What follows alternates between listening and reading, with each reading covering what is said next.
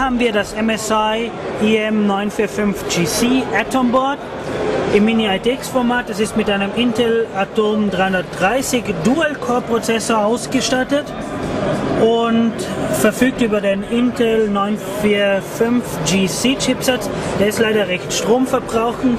Wahrscheinlich wird dies eine sehr günstige, kosteffiziente Lösung sein, ist aber auch von den Schnittstellen her eher für die Industrie gedacht.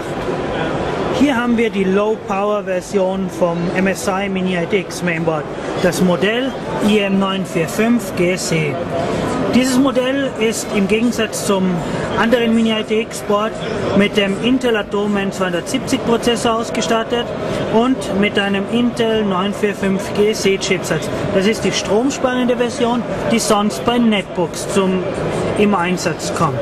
Das Mainboard ist hier mit einem Sodium-Slot ausgestattet, sehr spartanisch schon versehen, hat einen Mini-PCI Express-Slot,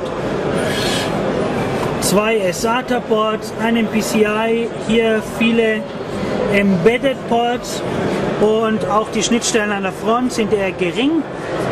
Daher ist wohl dieses Mainboard auch eher für Industrieanwendungen und weniger für den Konsumer gedacht.